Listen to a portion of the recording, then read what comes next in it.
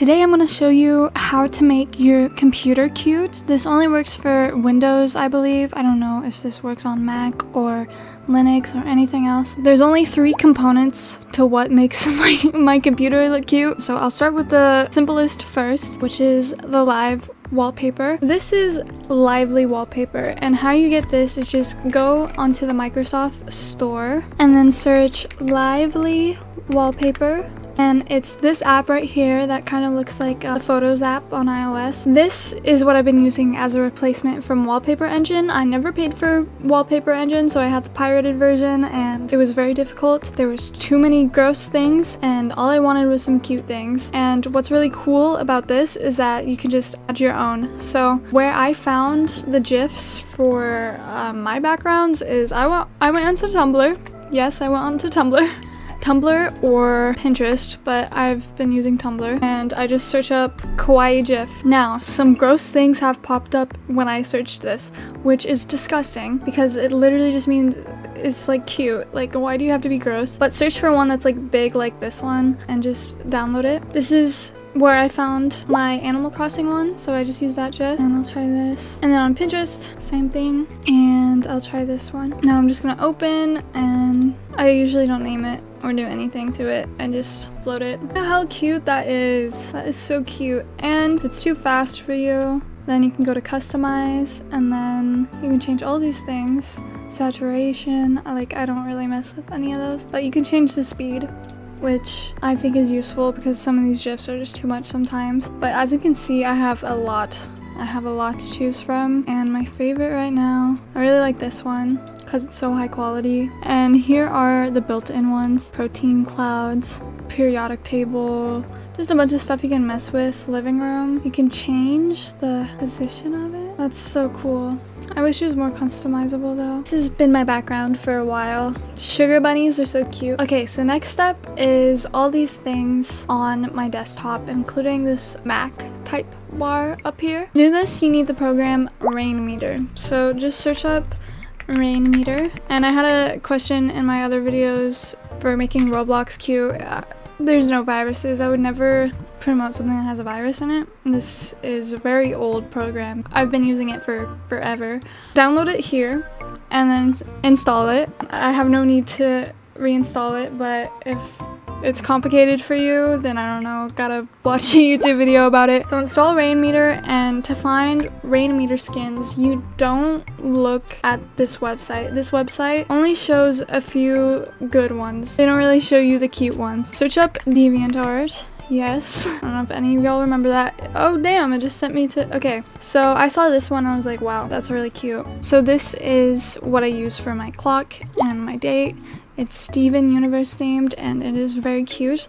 Um, how you download this is you have to make a DeviantArt account and then download it from right here. And then once you've downloaded it, I recommend putting it in a Rainmeter folder just so it's easier for you, but it will be a skin. It will say a skin. Or you open it up and it's a zip file. Make sure you have something to unzip it and just take these and put it there. I already have these, so, but this is how you load it. So all you have to do is click on it, install. Goofy ass Ofelia coming in here to tell you that I made a mistake. I installed the skin over my pre-existing skin so it just messed things up and so I couldn't move things around and show you how to move things around you just click on it but I was stupid and didn't know that happens but I promise you it works now this just messed up all my Rainmeter stuff because I just reinstalled it. It's fine, I'll just change my other stuff to make it fit. Okay, that looks ridiculous. So for installing Rainmeter, I do recommend you watch a separate tutorial on just how to install it. What the biggest issue is, is that it already comes with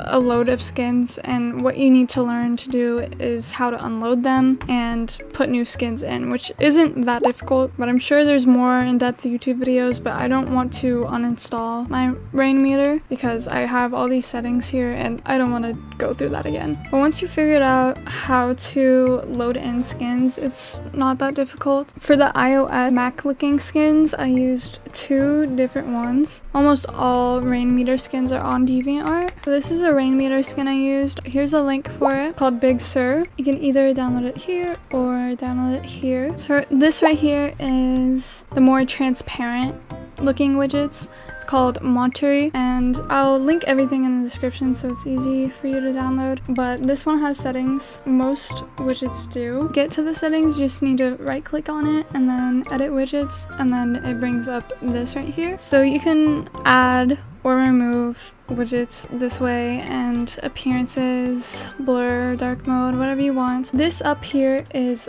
Drop Top 4, I'm pretty sure. And it's also a Rainmeter skin. They actually have a website for this, so you can just download it straight from their website. And the install process is so smooth that I don't even think you need a tutorial for this. They have tons of different features. Um, folders, like look at this, this is so cool, apps.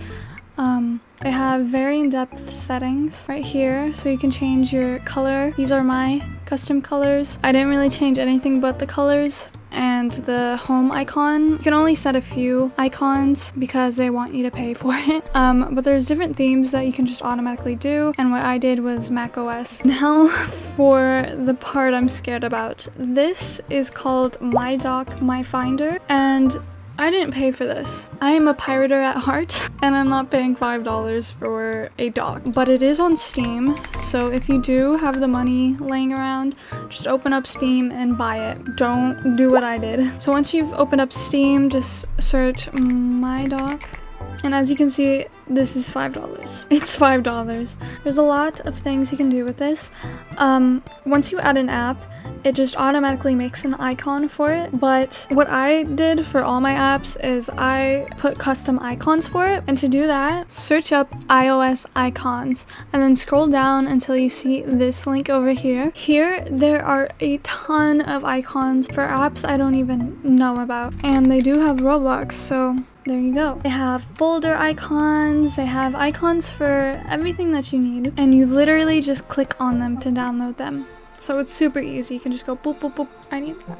Now I won't gatekeep on how I got this because it was really tedious for me to get my dock, my finder. There is an alternative, you can use Rocket Dock, but that is really confusing that I don't even know how to use it. You can put skins on Rocket Dock and make it look like iOS, but this already comes looking like it and it's just so much easier. What I'm gonna tell you to do without getting in trouble for myself is look up pirate game websites on Reddit and then choose something that goes along the lines of unlocked Steam you know what I mean, .net. And low-key, it is in there and you can download it for free and it's very low space and there's no virus because that's a confirmed pirating website with no viruses. I can I can vouch for that because I have an insane library of games that I did not pay for.